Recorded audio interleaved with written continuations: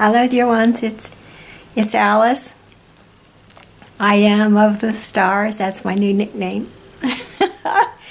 and um, I have I have just something kind of funny to tell you.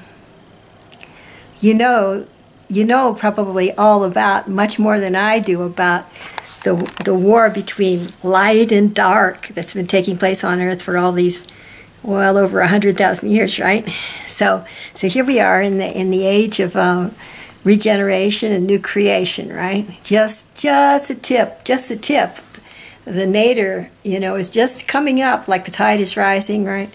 And um, and I have this to say about God and Satan, okay? Um, um, so it's like a heads up goes like this.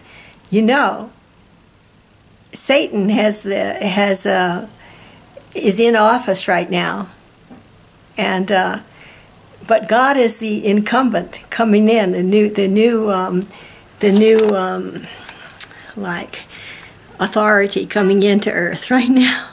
So for those that are that are wondering which side to pick i'm suggesting that to look to the future and align right now, align our our heart and our mind and our little will with the heart and mind and will of let's see did I get that right? Yeah and will of God.